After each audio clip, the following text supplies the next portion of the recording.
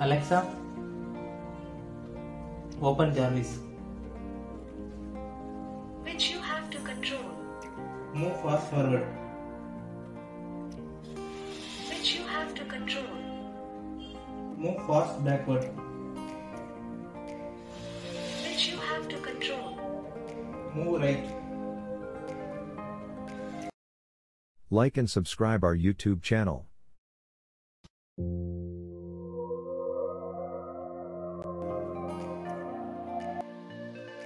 First, take 4 wheels, along with 4 DC motors. Take 2 chases like this. Add some nuts and bolts. Now, attach the motors to the chases like this.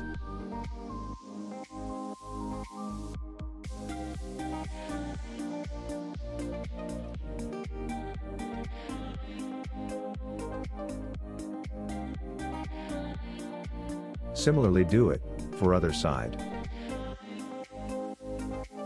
Now, add another chase is in middle of them.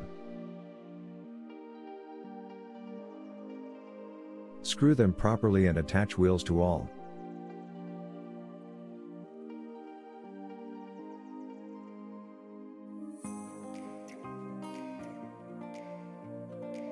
Now, the base of our personal robot is ready.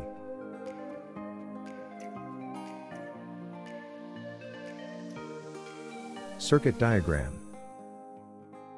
This is the circuit for our personal robot. Now, add a grocery item stand like this in top of our base.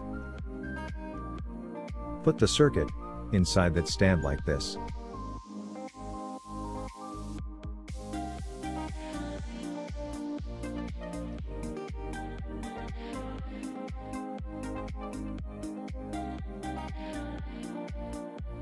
Now, upload the code.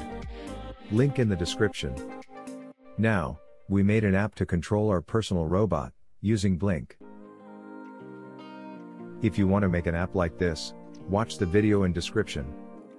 And, in future we will put tutorials on Blynk.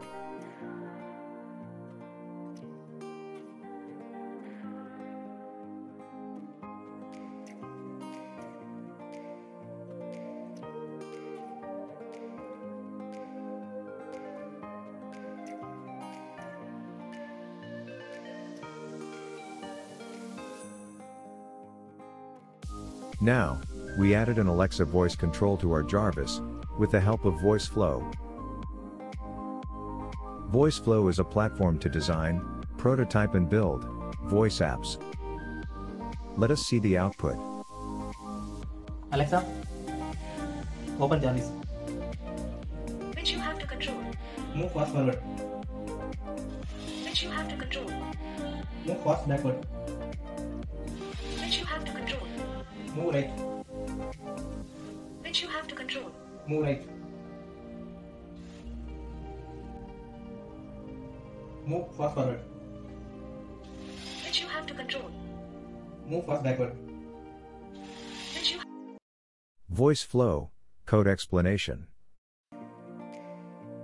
First, this is the start block. While clicking, you can see Jarvis, it is the name of our project. Using this only, we can start our project. From start block, it goes to next block, that is speak block. Speak block, just speak what we type, here I typed, which you have to control. From speak block, next we have choice block.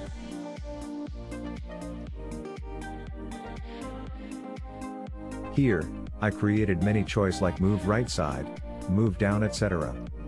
Now, from choice block, if we select move right side, then it goes to next block.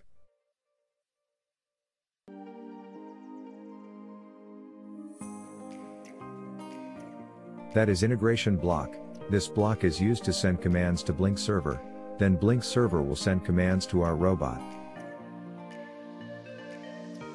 Similarly, for other choice block, the integration block is connected, which will send commands to Blynk server.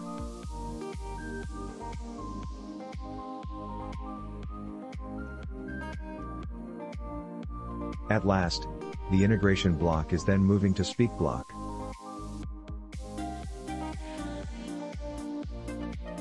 And again everything repeat and repeat. If you want to learn more about VoiceFlow, video link in the description. Part 2, coming soon?